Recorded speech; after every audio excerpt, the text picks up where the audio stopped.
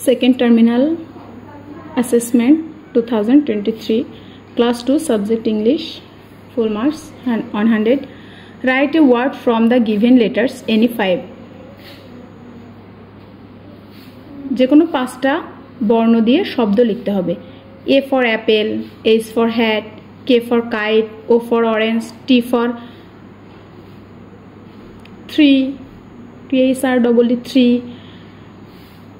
M for mango J for juice এরকম পাঁচটা যে কোনো পাঁচটা অক্ষর দিয়ে অ্যালফাবেট দিয়ে পাঁচটা শব্দ লিখতে হবে। Write the name of four shape চারটা শেপের নাম ট্রায়াঙ্গেল রেক্টেঙ্গুলার সার্কেল ওভাল যে কোনো চারটা শেপের নাম।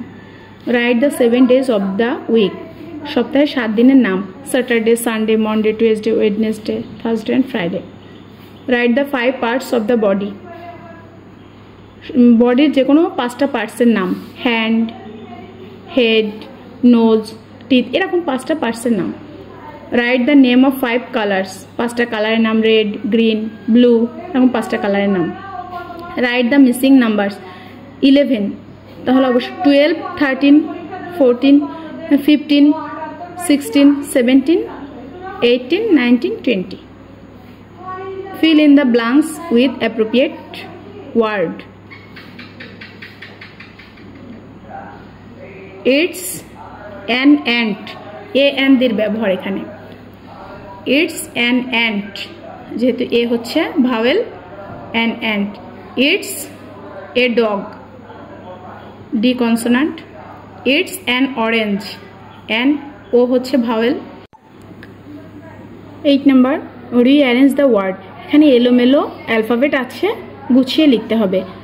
এটা গিভ এটা হয় হ্যান্ড কাইট এটা ব্লু এটা square ten marks write the poem rainbow rainbow or hand and shoulder head and shoulder এই দুইটা কবিতার যে কোনো একটা কবিতা লিখতে হবে ten marks answer the following question what is your name my name is যার যে নাম। হাউ ওল্ড আর ইউ তোমার বয়স কত? Six years seven years eight years এভাবে অ্যান্সার হবে। What is your father's name my father's name is my father's name is ইয়োরটা your বা you answer করার সময় মাই হয়ে যায়।